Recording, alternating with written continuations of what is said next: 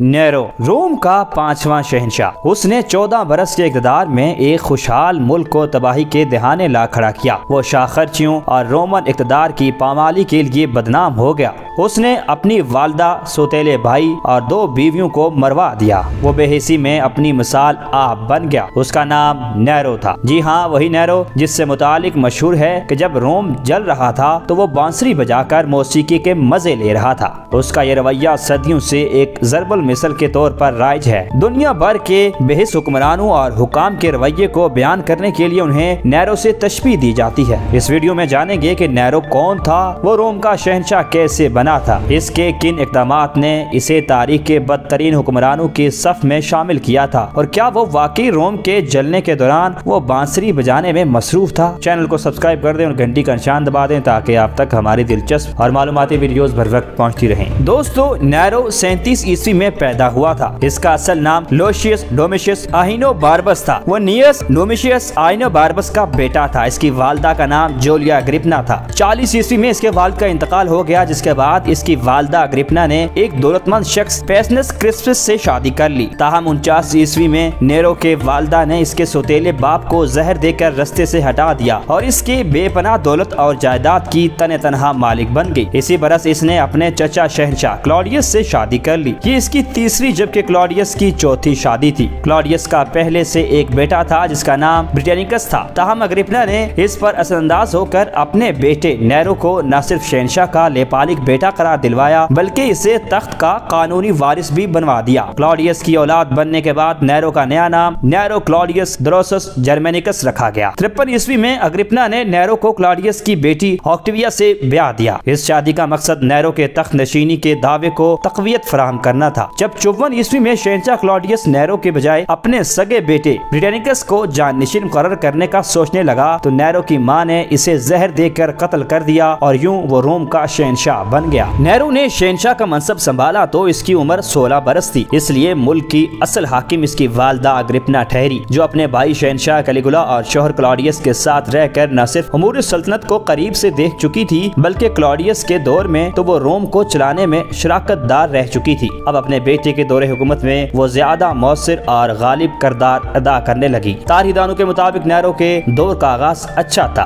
World history encyclopedia के मुताबिक इसने टैक्सेस की शरह कम कर दी और आवाम की तफरी के लिए बड़े पैमाने पर इकदाम उठाए। इसके दौर में बड़े पैमाने पर खेलों का इनका हुआ, जिसमें घोड़ा गाड़ियों की दौड़ और दीगर मुकाबले शामिल थे। इसने खेल के नाम पर होने वाले खून खराबे को कम करने के लिए शायरी के मुकाबले करवाए और यूँ आवाम को ग्लेडिएटर मुकाबलों से दूर खींचने की कोशिश की। नेहरू ने गुजशत अदवार में होने वाले खुफिया ट्रायल्स का खात्मा कर दिया और सजाए मौत पर पाबंदी आयद कर दी। इसके इब्तदाई दौर में गद्दारी का कानून पसे पुष्ट चला गया। नेहरू का एक और अहम इकदाम गुलामों को अपने मालिकों के खिलाफ शिकायत दायर करने का हक देना था। इसने रहम दिली का मुजाहरा करते हुए अपने खिलाफ जुगतबाजी पर मबनी तहरीरें लिखने वालों को मुआफ कर दिया। इन इकदाम के बायस वो एक सखी और रहम दिल हुक्मरान के तौर पर मशहूर हो गया। इसने सेनेट की खोई ताकत को भी काफ़ी हद तक बहाल कर दिया। ताहम कहा जाता है की नैरो की जानब ऐसी सेनेट को इख्तियार देने के पीछे एक खुफिया एजेंडा था। वो एजेंडा था हुकूमती उमूर पर ध्यान देने के बजाय अपने गाने के शौक को पूरा कर रहा जी हाँ नैरो को मौसीकी से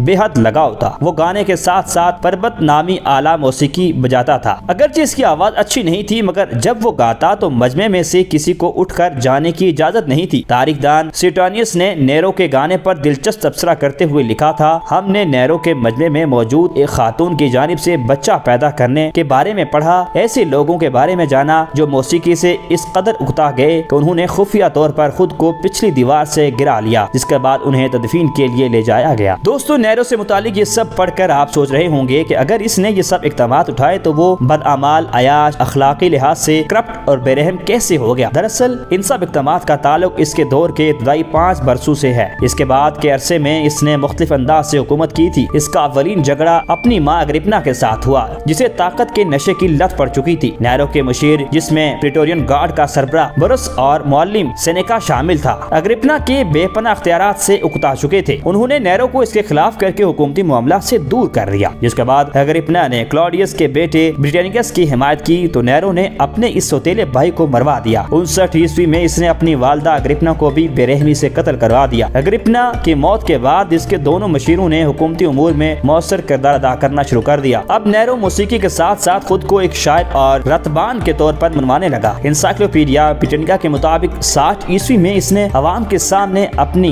अदाकाराना सलाहियतों का इजहार शुरू कर दिया। वो स्टेज पर आने लगा और थिएटर की जानब से दावा किया जाने लगा कि वो हर तरह का किरदार अदा कर सकता है। अहले रूम के नज़दीक शहनशाह की ये आदात इनकी इकतदार के बरखिलाफ थी। इसी दौरान ओथो नामी सेंटर्स की बीवी पोपिया सबीना की मोहब्बत में गिरफ़्तार हो गया, जिसके बाद इसने अपनी पहली बीवी ऑक्टिविया को जिला वतन करके मरवा दिया और नए महबूबा पोपिया सबीना से शादी कर ली। इस अरसे में इसे हुकूमत से बरतरफ करने की एक साजिश हुई, जो नाकाम हो गई। जिसके बाद नहरों ने इकतालीस बासठ अफराद को मौत के घाट उतार दिया। चौसठ ईस्वी में रोम में दुकानों में आग भड़क उठी, जो शहर भर में फैल गई। कहा जाता है की यह आग छह रोज जारी रही, जिसमें रोम के चौदह ऐसी दस अजला जलकर तबाह हो गए। आग ऐसी सैकड़ों अमवात के साथ हज़ारों अफराद बेघर हुए। यही वो वाक़ है जिसके बारे में कई कदीम तारीख दानों ने लिखा है की जब ये आग रोम को जला कर राह का ढेर बना रही थी तो नैरो मौसीकार के लिबास में महल की छत पर चढ़कर मौसीकी की दुने बिखेरने में मसरूफ था। सवाल यह है कि क्या यही हकीकत थी? क्या वाकई जब रोम जल रहा था तो नैरो बांसुरी बजाने में मसरूफ था? बेशतर मुआखिर के मुताबिक ये सच नहीं। इंसाइक्लोपीडिया के मुताबिक जब ये आग भड़की थी, उस वक्त नैरो रोम से छप्पन किलोमीटर दूर एंटियम नामी इलाके में मौजूद था, यानी वो रोम में था ही नहीं। दूसरी बात यह है कि उस दौर में बांसुरी का वजूद ही नहीं था, बल्कि नैरो पर्वत नामी आला मौसीकी को बजाने का शौकीन था। कई तारीख दानों के मुताबिक जब शहर में आग भड़की थी तो नैरो ने रोम पहुंचकर बेघर होने वाले अफराद के लिए शाही महल को